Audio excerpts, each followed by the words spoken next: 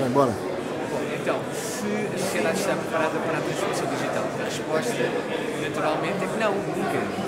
A sociedade não vai estar preparada, nunca está preparada para uma transformação, eu não estou, não estás, eh, porque é uma chatice, transformação.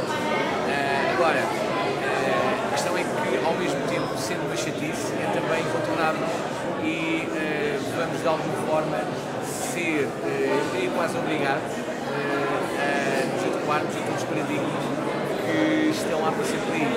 E acho que a partir do momento em que começares a ter IoT, carros autónomos, blockchain, uh, 5G e uma série de outros acrónimos a invadirem a vida, uh, vais ter de aprender a fazer o malabarismo disto tudo e, uh, ao mesmo tempo, uh, a redescobrir como viver a tua vida. E acho que a partir daí, enfim, vamos vamos transformar, aí sim a transformação digital vai começar a acontecer e, e aí, uh, bom, e aí acho que vai ser muito, muito diferente. Esperamos estar cá para isso.